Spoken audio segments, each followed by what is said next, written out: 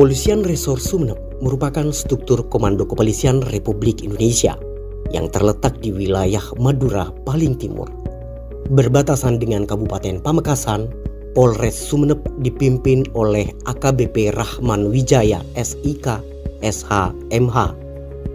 Polres Sumeneb membawahi 26 polsek yang tersebar di wilayah daratan dan kepulauan dengan jumlah personil Polri 729 dan ASN sebanyak 27 personil.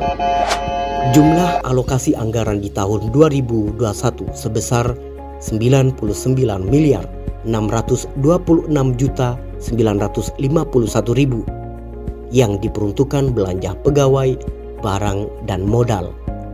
Polres Sumeneb didukung dengan sarana dan prasarana mulai dari roda 2, roda 4, hingga kapal patroli dan memiliki aset tanah bangunan serta peralatan mesin senilai lebih kurang 236 miliar.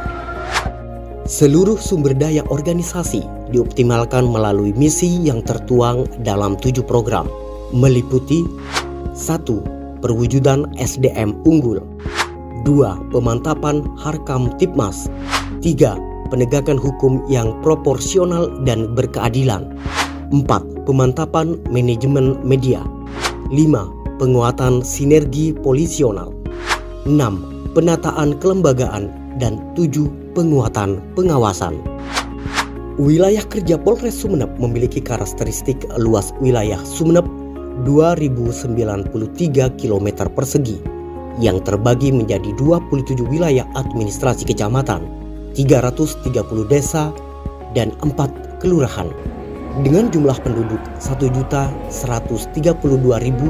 1.132.194 jiwa yang didominasi suku asli Madura. Topografi wilayah hukum Polres Sumeneb sebagian besar daratan seluas 1146 km persegi dan kepulauan seluas 946 km persegi. Mata pencaharian penduduk didominasi oleh petani dan nelayan meskipun terletak di wilayah paling timur Madura dengan topografi daratan dan kepulauan dan banyak keterbatasan tidak menjadikan hambatan Polres Sumeneb untuk mewujudkan wilayah bebas korupsi dan wilayah birokrasi bersih melayani melalui reformasi birokrasi khususnya dalam pencegahan korupsi dan peningkatan kualitas pelayanan publik.